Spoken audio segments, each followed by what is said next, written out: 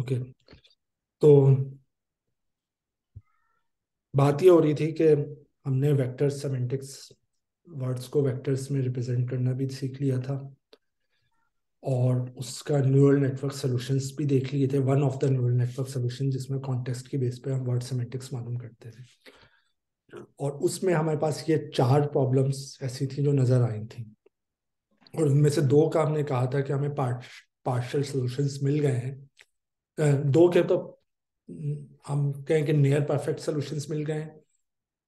और ये दो ऐसे हैं जिसके सॉल्यूशंस अभी भी कुछ कुछ मौजूद हैं, लेकिन हमें डील इन्हें डील करना होगा। तो अच्छा अब मॉडर्न सॉल्यूशंस पे आते हैं। अभी तक जो मैंने आपको चीज़ें बताई थी पिछले वाले सेशन में वो 2015-16 तक ये चीज़ें डेवलप हो चुकी थी और लोग इस पर काम कर रहे थे। अब पिछले पाँच साल में क्या काम हुआ है? State of the art solution इस वक्त क्या मौजूद है? हम उस पर आ जाते हैं। तो दो मेजर प्रॉब्लम्स हैं वर्ड फॉर्म्स जिसे हमें सॉल्व करना है सब वर्ड्स पे।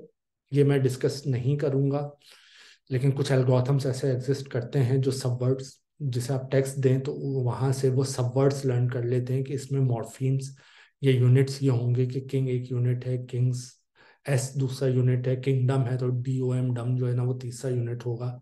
तो वो कॉर्पस को एनालाइज करके उसमें से सब वर्ड्स प्रेडिक्ट कर देते हैं कि ये सब वर्ड्स होने चाहिए। जस्ट ऐसे एल्गोरिथम्स एग्जिस्ट करते हैं। कॉन्टेक्स्ट पे हम ज़्यादा इम्फेसिस कर रहे हैं। कि वर्ड्स को हम लर्न करें उनके कॉन्टेक्स्ट पर। पहले भी हमने ये बात की थी, लेकिन अब कॉन्टेक्स्ट को ज़्यादा इम्पोर्टेंस देनी है। ज़्यादा इम्पोर्टेंस किस तरह से देनी है? अच्छा अब हमारे पास जो मॉडल्स बने लैंग्वेज मॉडल्स बने लैंग्वेज मॉडल्स वैसे स्टैटिस्टिकल क्लासिकली देखें तो स्टैटिस्टिकल मॉडल्स होते हैं जिन्हें लैंग्वेज मॉडल्स कहते हैं, लेकिन न्यूरल लैंग्वेज मॉडल्स भी बने जो न्यूरल नेटवर्क बेस्ड हैं। एल्मो एक है एग्ज़ाम्पल पे बर्ट है अर्नी है। और क्योंकि ये सेमेंटिक्स कुछ बोरिंग सा सब्जेक्ट बनता जा रहा था और मैथमेटिक्स में बहुत ज़्यादा इन्वॉल्व हो रही थी तो कम अज़ कम मॉडर्न दौर में कोशिश की गई है कि नाम इन मॉडल्स कैसे रखे जाएँ जो मपेट्स के नाम पर हों। तो ये embedding for language model is ELMo जो बहुत मशहूर है। बर्ट वो bidirectional encoder representation for transformer ये बर्ट है एंड सो ऑन तो ये वाली इंफॉर्मेशन इनके नाम ऐसे होते हैं कि वो थोड़े से कैची हो। अब हम आ जाते हैं कि कॉन्टेक्स्ट बेस्ड मॉडल्स किस तरह से आते हैं किस तरह से हम बना सकते हैं। फॉर एग्जांपल हम कीबोर्ड में, हम मोबाइल कीबोर्ड पे पे ये चीज़ मौजूद होती है मोबाइल के कीबोर्ड पे, कि आप एक वर्ड लिखें तो वो नेक्स्ट वर्ड खुद बखुद प्रेडिक्ट कर रहा होता है। किस तरह से नॉर्मली करता है वो, ज़्यादातर जो हैं वो उस वर्ड देखते हैं उस वर्ड के बाद आने वाले अगले वर्ड की मोस्ट मोस्ट प्रोबेबल जो नेक्स्ट वर्ड होता है, जो मोस्ट फ्रिक्वेंटली उसके बाद अगर होता है, वो दे देते हैं। हेलो लिखें तो उसके बाद मोस्ट प्रोबेबली आपको हाउ मिल जाएगा। हाउ मिले तो उसके बाद आपको आर मिल जाएगा। अच्छा सिर्फ़ आर लिखें तो आर के बाद यू आने के चांसेस कितने हैं, पता नहीं। अच्छा यू लिखें अब सिर्फ़ लास्ट वाले को देखें। अगर मैं आपसे पूछूँ या आप अब किसी दूसरे शख्स से पूछें कि, मेरे पास एक वर्ड यू है यू के बाद अगला वर्ड या सिंबल क्या होगा? तो बहुत कम चांस है कि कोई क्या इसके बाद क्वेश्चन मार्क आ रहा होगा। जब रोड पे चलते हुए किसी शख्स से आप पूछें कि यू के बाद क्या यू लिखा हुआ है, अगला वर्ड क्या होगा? मोस्ट ऑफ़ द पीपल कहेंगे कि आर होगा यू के बाद आर आता है। लेकिन हमारे इस कॉन्टेक्स्ट में यू के बाद क्वेश्चन मार्क आ रहा है।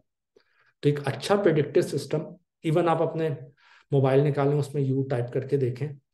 तो यू के बाद, क्या वो प्रेडिक्ट कर रहा है? मोस्ट प्रॉबेबली आर प्रेडिक्ट कर रहा होगा।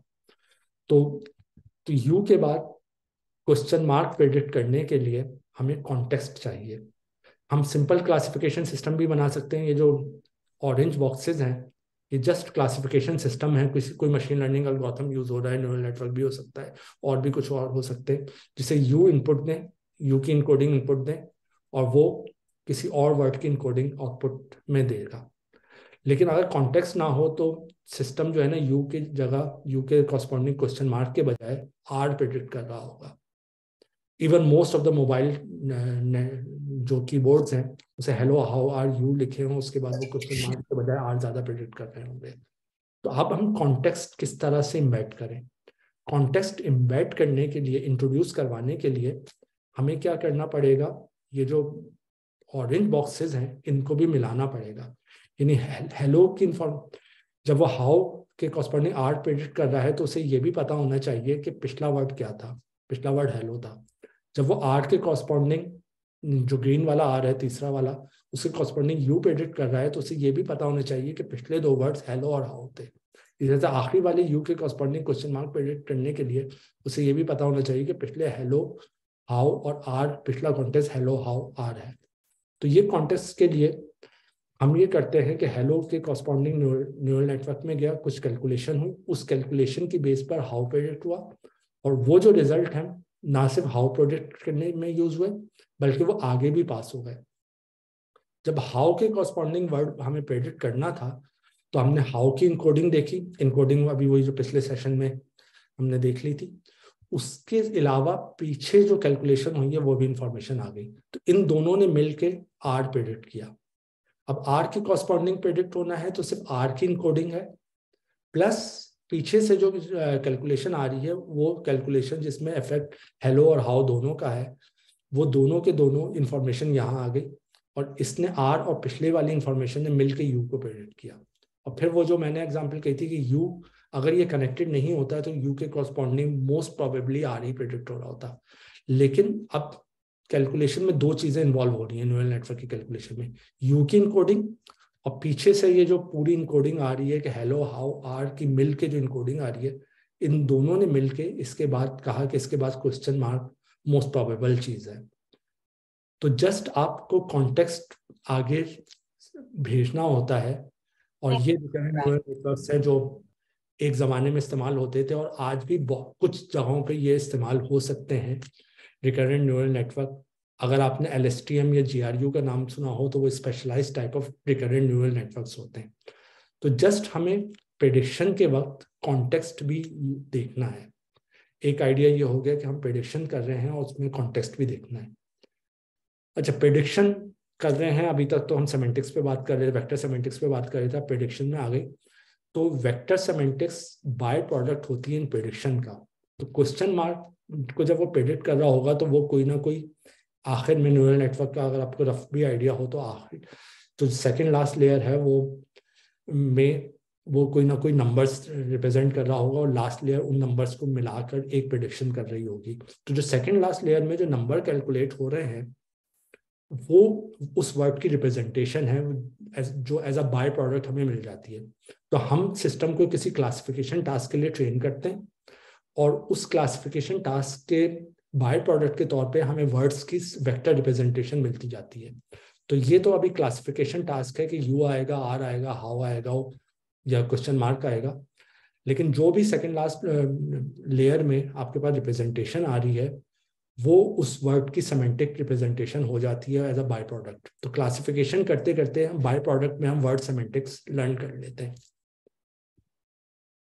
अच्छा अभी ये इसका प्रॉब्लम ये हमने देख लिया कि पिछले वर्ड्स देखें, लेकिन क्या सिर्फ़ पिछले वर्ड्स का कॉन्टेक्स्ट चाहिए होता है या अगले वर्ड का भी कॉन्टेक्स्ट चाहिए होता है? इसमें हमें लग रहा है कि पिछले वर्ड का कॉन्टेक्स्ट चाहिए। अब जो अगली एग्ज़ाम्पल है मेरी, उसमें टैडी स्पेस अगर मैं कहूँ टेडी के बाद क्या आएगा? हम सब ये कहेंगे कि बियर्स आएगा। पहले सेंटेंस में सही है teddy bears are on sale दूसरे सेंटेंस में teddy Roosevelt was a great president तो दूसरे सेंटेंस में बियर्स नहीं आ सकता। क्यों नहीं आ सकता? क्योंकि उसके बाद में जो वर्ड्स हैं, वो आपको कॉन्टेक्स्ट बता रहे हैं। तो जो शुरू में जो सिस्टम आए थे, वो सिर्फ़ पिछले वर्ड्स को देखते थे।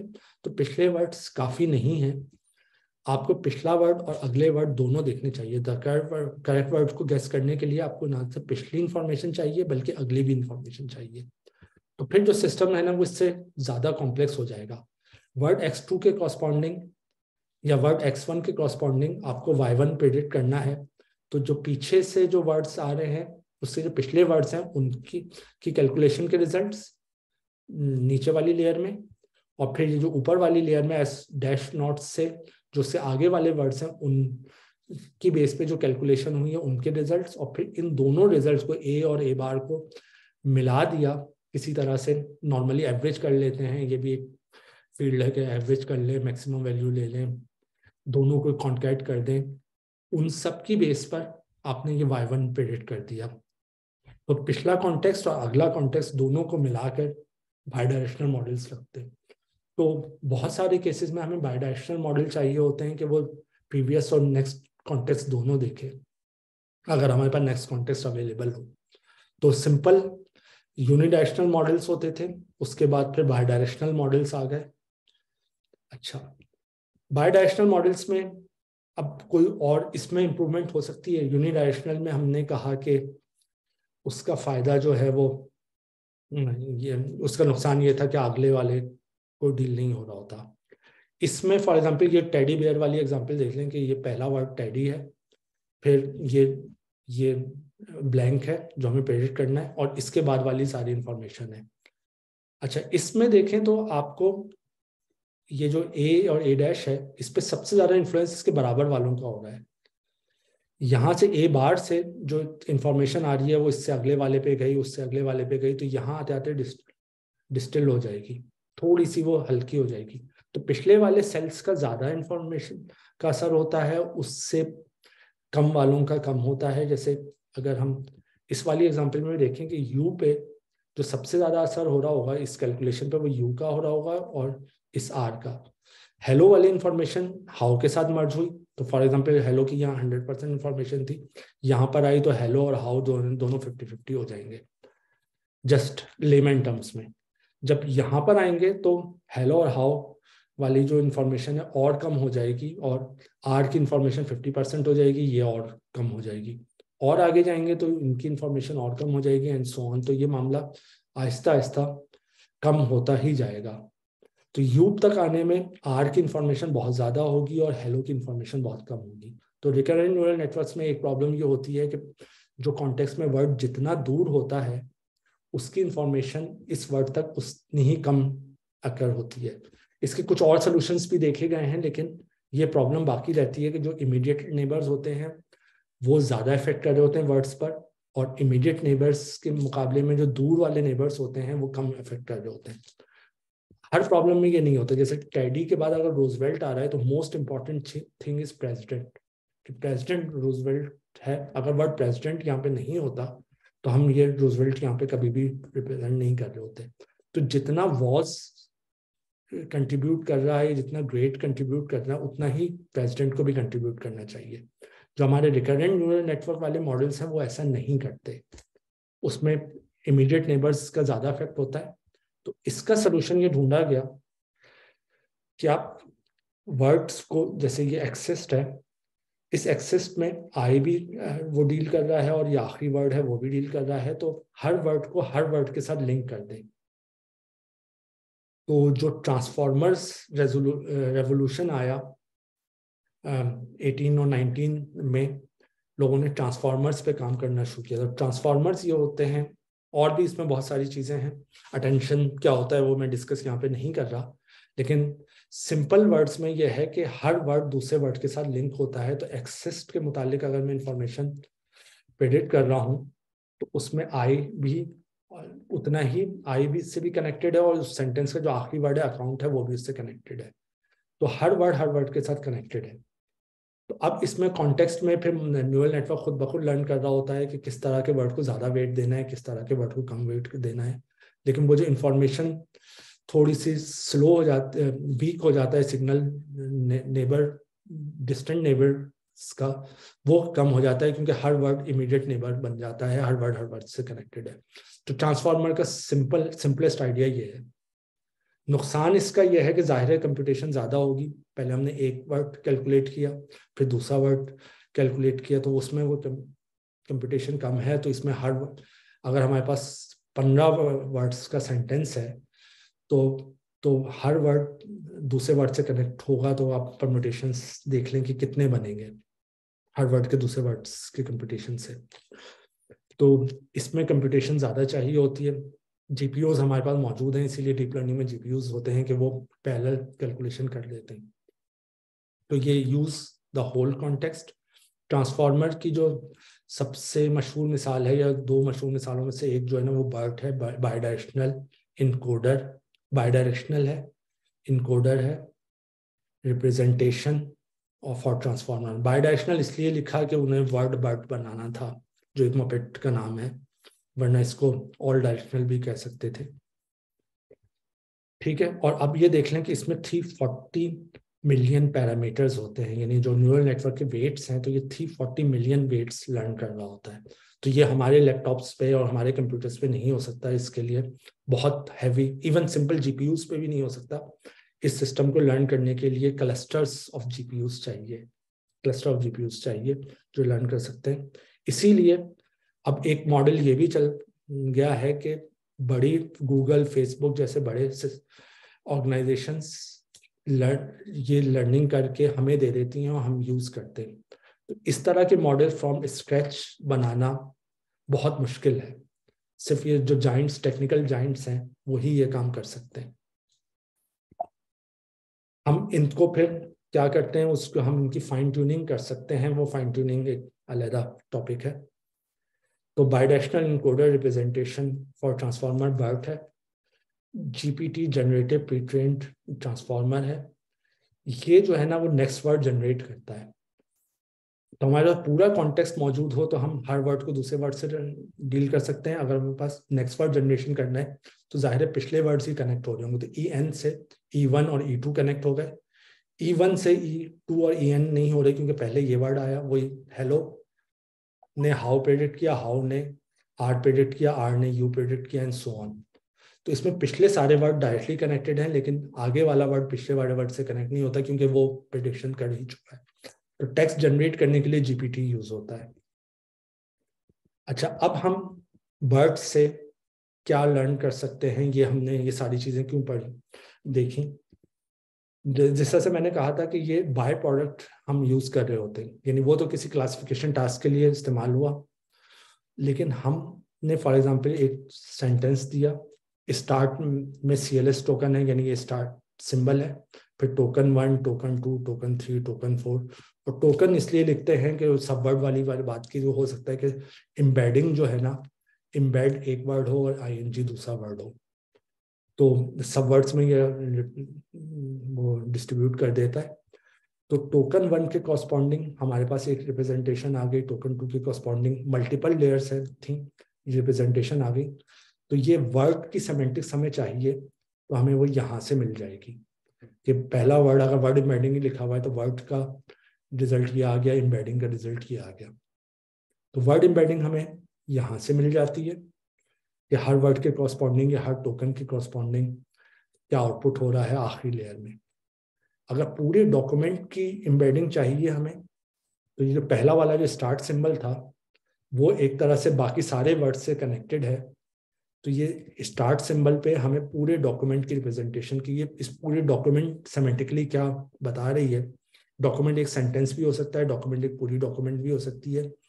बर्ट की कोई लिमिट है फाइव ट्वेल्व है I think five twelve tokens तो एक वक्त में ये फाइव ट्वेल्व टोकन्स कर सकता है।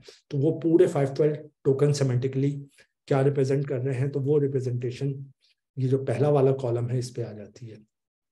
तो वो हम पूरे डॉक्यूमेंट को, पूरे सेंटेंस को रिप्रेजेंट करना हो तो ये चीज़ हमारे पास मौजूद है। और अगर इंडिविजुअल वर्ड्स की सेमेंटिक्स देखनी है तो आपके पास ये चीज़ मौजूद है। अच्छा तो ये अब हमें उस प्रॉब्लम को सॉल्व कर देगा जो मैंने माउस वाली एग्जांपल कही थी कि एक वर्ड के मल्टीपल सेंसेस हो तो क्या करें? तो हमने बहुत सारे सेंटेंसेस ले लिए और जिसमें वर्ड माउस यूज़ हो रहा है। और उनकी उनको इससे पास किया और जहाँ mouse for example token two mouse था तो वह जो आउटपुट आया, उस आउटपुट वेक्टर हमने पिक कर लिया। फिर एक और सेंटेंस लिया जिसमें वर्ड माउस आ रहा था, उसमें टोकन नंबर फाइव पे आ रहा था, उसका जो आउटपुट वेक्टर था वो पिक कर लिया। उन वेक्टर्स को फिर हमने यहाँ पे ड्रॉ किया। तो हम ये देख सकते हैं कि जो ऑरेंज सर्कल वाले हैं, ये एनिमल माउस को रिप्रेजेंट कर रहे हैं, चूहे को रिप्रेजेंट कर रहे हैं। अगर हमारे पास पहले से एग्जांपल्स के वो मौजूद थी। और ब्लू वाले जो है ना वो माउस कंप्यूटर माउस को रिप्रेजेंट कर रहे हैं। तो वो जब ये माउस आ रहा होगा तो ईट का ज़िक्र आ रहा होगा चीज़ का ज़िक्र आ रहा होगा कैट का ज़िक्र आ रहा होगा। जब कंप्यूटर माउस की बात हो रही होगी तो क्लिक का ज़िक्र आ रहा होगा कंप्यूटर का ज़िक्र आ रहा होगा। तो इनकी एम्बेडिंग थोड़ी सी मुख्तलिफ़ है और ऑरेंज वालों की जो एनिमल माउस की एम्बेडिंग मुख्तलिफ़ है। तो हम कॉन्टेक्स्ट वाइज भी देख सकते हैं कि कौन से माउस की बात हो रही है। तो ये कॉन्टेक्स्ट को ज़्यादा डील कर रहा होता है। तो हम कॉन्टेक्सलाइज एम्बेडिंग ये एल्मो से ली गई है, लेकिन बर्ड से भी हम देख सकते हैं कि वो उस कॉन्टेक्स्ट में, उस वर्ड की मीनिंग में कुछ ना कुछ और भी ऐड कर देता है कि कॉन्टेक्स्ट कॉन्टेक्स्ट को ऐड कर देता है। तो ये बेहतर सोल्यूशन है वर्क टू वैक से। वर्क टू वैक जल्दी आपको रिज़ल्ट दे देगा ये थोड़ा सा हैवी है हैवी दे देगा। लेकिन इसमें भी जैसे मैंने कहा कि हमारे पास बने बनाए सिस्टम्स मौजूद हैं। तो जस्ट मैंने ये दो ऐसी वेब पे सर्च किया था और दो अच्छे ब्लॉग्स हैं जो मैंने शेयर कर दिए हैं, इसमें आपको कोड मिल जाएगा। फोर सेंटेंस एम्बेडिंग टेक्निक्स अब ये है कि बर्क एक एग्ज़ाम्पल है। इसी तरह से फेसबुक ने अपने सिस्टम्स बनाए हुए हैं और बहुत सारे लोगों ने बहुत सारी चीज़ें ट्रेन की हुई हैं तो आपको सेंटेंस एम्बेडिंग के मल्टीपल सोल्यूशंस मिल जाएँगे तो इसमें आप दो में देख लीजिएगा। कि अगर आपके पास वही जो पहला सवाल था हमारा कि क्यूरी आ गई चेयर शॉप इन कराची वो पास करें और उस, वो पूरा का पूरा एक वेक्टर की फॉर्म में, उसका रिज़ल्ट एक वेक्टर की फॉर्म में आ जाएगा।